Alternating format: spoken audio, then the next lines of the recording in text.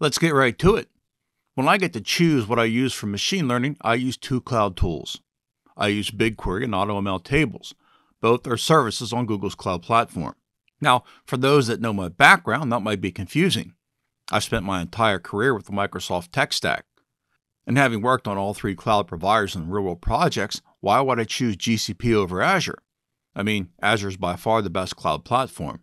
No one's even close. Amazon is losing customers to Azure daily, and no one really takes Google seriously as a cloud provider. There are exceptions to every rule, and I'm a data professional who focuses on machine learning. That means I want to use the best tools on the market. The best data warehouse for machine learning is BigQuery, and nothing is close. The only thing close is Snowflake, and it's not as mature and it's harder to use for machine learning. With BigQuery, I can upload my data to GCP and then use SQL and Python like I would on prem. BigQuery is fast. I can query petabytes of data in minutes. Yes, I said petabytes. I can also model that data if I had to, something very few companies could do without amount of data on prem. Next, there's AutoML tables.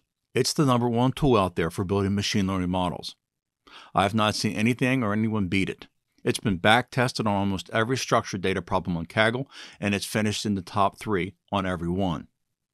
It uses gradient boosters under the hood for modeling, and then it uses deep learning models to find the best hyperparameters for that model. Why would a machine learning engineer use anything else? Mostly because they don't know what they're doing or aren't allowed to use cloud services. That's really about it. If you're new to machine learning, you should know structured data problems are around 80% of all real world machine learning.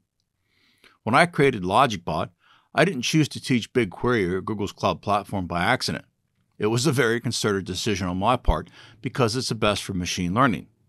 Regardless of where you work or what tools you use, I promise you're going to have a hard time finding anything better in the real world than using BigQuery with AutoML tables. Now, if you're thinking, I don't even know what these tools are, don't worry. You won't be working in machine learning anytime soon. You'll have plenty of time to learn them. Thanks for watching. Don't forget to like and subscribe. Have a great day. We'll see you soon.